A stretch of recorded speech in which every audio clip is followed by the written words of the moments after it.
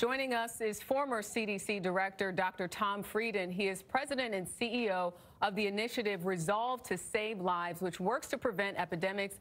Dr. Frieden, good morning. Thanks for joining us. I want to get straight to an article you recently uh, wrote where you talk about how to reopen safely, and you reference immunity passports. Explain what that is and how it would work. Well, we don't know if this is going to happen, Jericka, but fundamentally what we're seeing is companies, countries, other places giving people some certificate of vaccination. With a certificate, people might be able to travel or enter certain places more freely.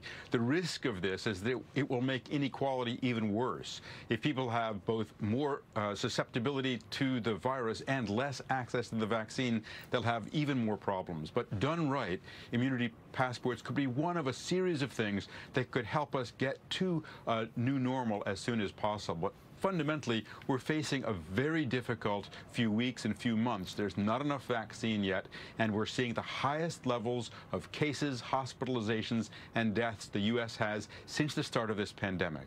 And recognizing how it could be controversial, these immunity passports, uh, you say that there should be certain standards. What do you see those standards as being for this to be effective? First off, absolute privacy, no ability of people to use that data for anything else. Second, absolutely opt in. You don't want one, you don't have to get one. And third, complete transparency about how they're being used so that there are no surprises anywhere. But what worries me most right now is that Congress get money out to states and cities and counties to get the vaccine into people's arms. It's a great accomplishment that we have two highly effective vaccines, but money to deliver that vaccine, money to engage communities, money to provide pharmacists and nurses and doctors and health departments with the wherewithal to actually reach out to people and make sure they get vaccinated, that's stuck in Congress. Unless that money gets out, uh, we're going to have an even more deadly winter. As you're watching these developments and with all of your experience, are you satisfied with the vaccine rollout thus far? I'm really impressed that we've seen the kind of uh, effectiveness. Um, no one would have expected 90 plus percent effectiveness in less than a year from multiple vaccines. That's partly because our bodies do a good job fighting the virus as well.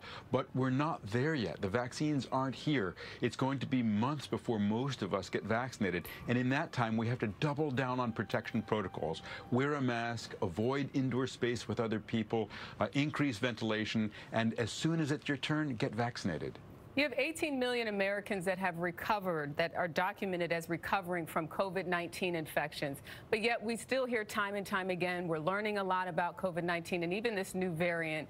Do you have any sense of when scientists will know how long that immunity, that natural immunity, will last? This is one of the things that we need to learn as quickly as possible. I wish we knew more today.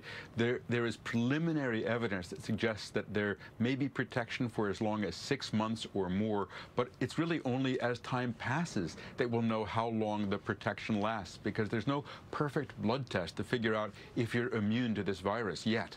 We hope that kind of a blood test could be developed. All right, Dr. Tom Frieden, we really appreciate your time. Thank you.